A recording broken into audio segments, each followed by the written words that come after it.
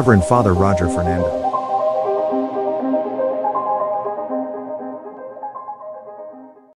සුබ දවසක් අද ජූලි දා හතරවෙනිද බ්‍රහස්පතින්ද සභහා මාතා ශුද්ධෝ කැමිල්ල සිඩි ලෙල්ලි මුනිතුන්ගේ මංගල්ලය පවත්වනවා.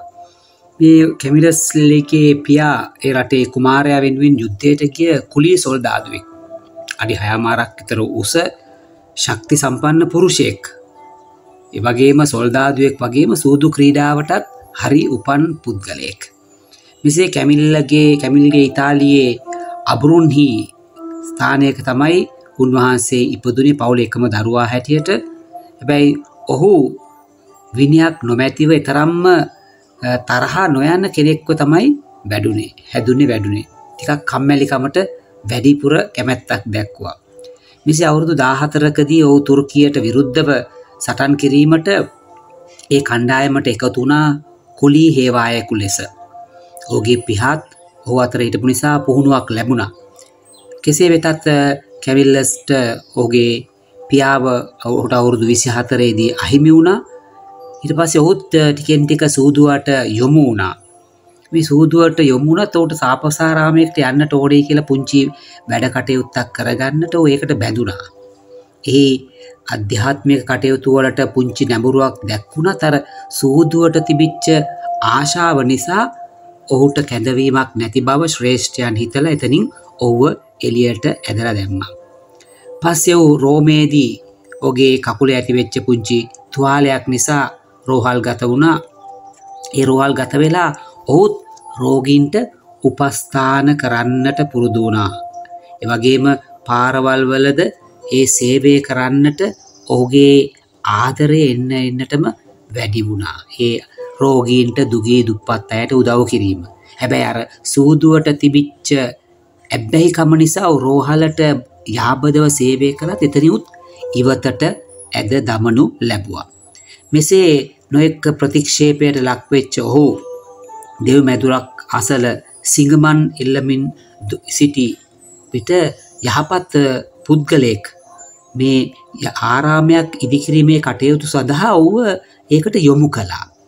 තරම්ම පුහුණුවක් නැති නිසා ආහාර සැපීමට සඳහා ඔව්ව ඒ කර්තව්‍ය භාරව ඕ කටයුතු කළා. එහිදී සුව ධර්මය තුළ විනිානුකූලව ජීවත්වීමට හෝ ටික ටික පුරුදුවෙන්ට පටන් ගත්තා. ඉතින් ඔහොම එක්දස් පන්සිය හැත්ත පහේදී රෝමේ ජාකෝ බ්‍රෝහාලට නැවතත් පැමිණෙන විට ඕට දැන් අවුරුදු විසි පහකව පමණ වයස ඇති තරුණ තරුණ විය ඉන්න පුද්ගලයෙක්. ති රෝහල් බරධාරින් දෙවැනි අවස්ථාවද ඕට ලබා දුන්නා. ඒදි ශුද්ධෝ ෆිලිප් නේරි මුනින්ද්‍රයා අපේ මව් පල්ලිය තියෙන්න පිටකොටුවේ කැප කරලා. උන්හන්සේ කැමැත්ත පල කලා ආත්මීක පියා ලෙස උදව් කරන්නට භාරගන්න කිය. ඉතින් වැටුපක් නොමැතිවම ඔවේ දේව ආදරය තුළ මිනිස්සුන්ට ජනතාවට සේවය කරන එක ඒවගේ අධ්‍යාත්මික ජීවිතයත් ඕගෙන්ම පුරුදු පුහුණු වුණා. එවිතරක් නෙමෙයි ඇප උපස්ථාන කරන්න පූජකයන්ට ගිහි නිකායක් ආරම්භ කිරීමටත් ඕතුළ පුංචි අදහසක් තිබුණා. ති මේ නගර ඉතාමත්ම නරක ප්‍රදේශයක ගෙයක් හොයාගෙන රෝහලක් ආරම්භ කළා. නැවතත් අර නරක පුරුදු කරා යනවා කියලා තමයි මේ ෆිලිප් නේරේ මුනින්ද්‍රයත් හිතුවේ මෙච්චර අවවාද උපදේශ දුන්නත් ඕක කීප වතාවක්ම ඔතනට ඇබ්බැහි වෙච්ච නිසා. හැබැයි සාත්තු සේවා නිකාය අදහස ඔහු අතහැර නැවත අර ජාකොබ් රෝහලටම පැමිණෙලා පැමිණෙන්න්නට ඕනේ කියලා මේ ෆිලිප් නේරි මුනින්ද්‍රයාගෙන් ඉල්ලීමක් කළා. හිට පස්ස ඔහු දරුන් රෝගීන් මරණාසන්න අය සොයාගෙන ගිහිල්ල ඔවුන්ට ඇප උපස්ථාන කරන්නට පටන්ගත්තා.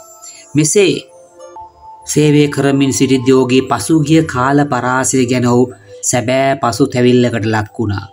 හොඳ පාපුච්චාරණයක් කරමින් තමා මහා පෞකාරයෙක් සූදු ක්‍රීඩකේ කා නරක ජීවිතයක් ගත කළ බව පිළිගෙන දේව සමාවත් ආදරයක් තුළ ඕ දැහැන්ගත වුණා. තම සිරුර කුරුසියක ආකාරයක ආකාරයට විහිදා ක්‍රිස්තු රුදීරයෙන් ගැලවීම ලැබීම ගැන ප්‍රශංසා කරමින් සිටියත් සිටිද්දීම වර්ෂ එක්දාස හයසිය දාහතරේදී ජෙනෝවාහිදී උන්වහන්සේ ස්වර්ගස්ත වුණා.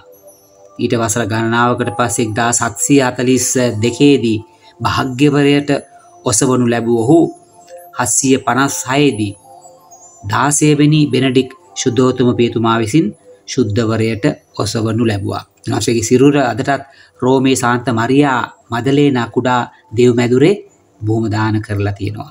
වර්ෂ එක්දස් නමසය තිහේදී එකොළොස්සන පියස් ශුද්ධෝතුම පියතුමන් විසින් හෙද හෙදියන්ගේ ආරක්ෂක මුනිවරයා හැටියටත් උන්වහන්සේව හඳුන්වනු ලැබුව බලන්න ජීවිතයේ බෝම අමාරුවෙන් ආරම්භ කරපු ඔහු අවසානය නතර වුණේ කොතනද කියලා. අද සුවිශේෂි බොහොම සුන්දර ඊයේ නවත්තපු තැනින් ආරම්භ කරනවා.